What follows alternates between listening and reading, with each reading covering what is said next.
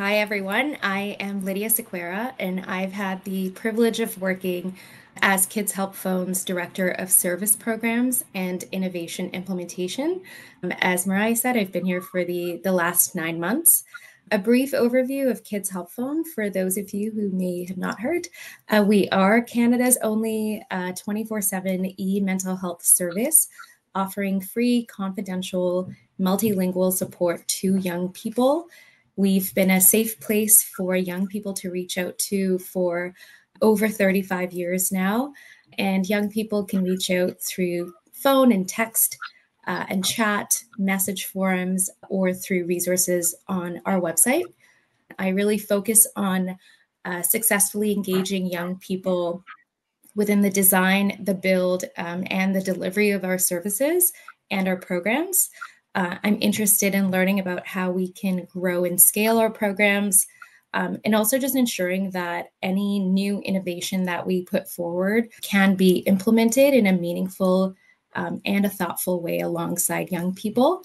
This is just a great opportunity to join in on this national conversation that's happening um, and really to ensure that young people all across Canada know that Kids Help Phone is here for them.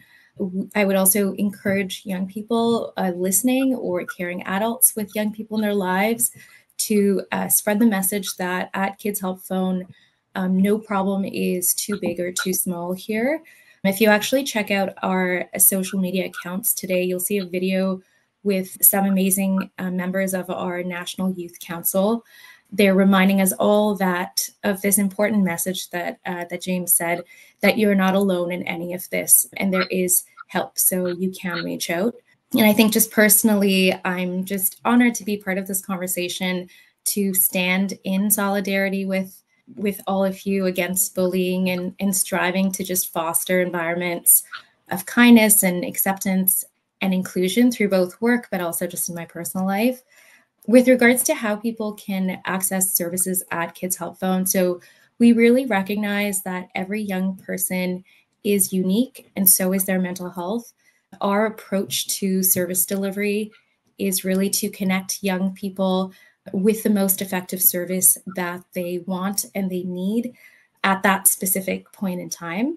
Recognizing that this might evolve from day to day or from minute to minute, and that's okay. When Kids Help Phone started about 35 years ago, we started solely as a telephone service. But then, since then we've really evolved tremendously. I'd say if you visit our website, so kidshelpphone.ca, you will be able to kind of quickly look through. We have a banner of all of our offerings, and you'll be able to understand just the breadth of all of the services and the programs that we have here to help young people. We have everything from mental health videos and articles, tools, games, and so self directed activities for kids, for teens, for adults. We have a Feel Out Loud community creator space. So, this is a space where young people can explore and share their creative content. We have a peer to peer community. So, this is a support forum for, for young people. It's real life stories where young people can share their story, connect with others that are like them or different from them, support each other digitally. And so you can visit peer-to-peer.kidshelpphone to access this community. We also offer text-based supports with trained volunteer crisis responders. This you can access through, I'm seeing it all on the, the live stream as well, through texting connect to 686868.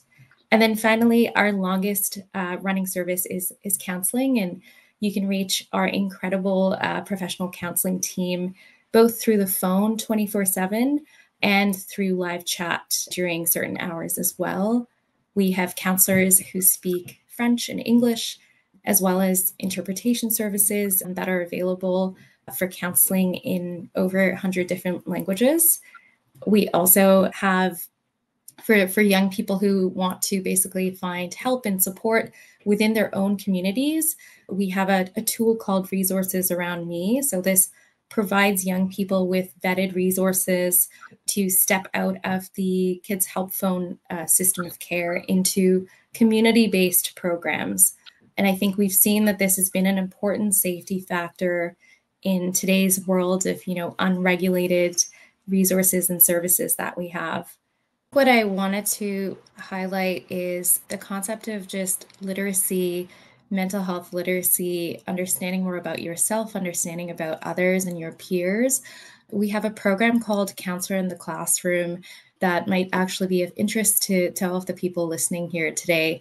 It's an incredible program that promotes this discussion of mental health and well being within young people, and it's um, available to students from grades 4 to 12 across the country.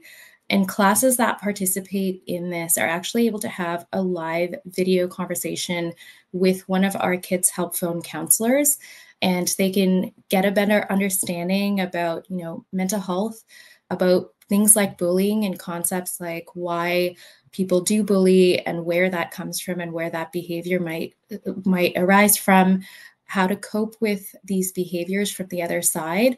Also as a bystander how do you actually deal with this from a bystander perspective if you're not the one being bullied or do, or doing the bullying? So they are able to kind of chat very openly with our counselors, learn about just examples of calls that our counselors uh, do receive with regards to a whole bunch of different issues and, and struggles that young people are going through. And hopefully, uh, by the end of that that program, they're able to leave feeling more confident in being able to seek support when and when uh, and if they need it.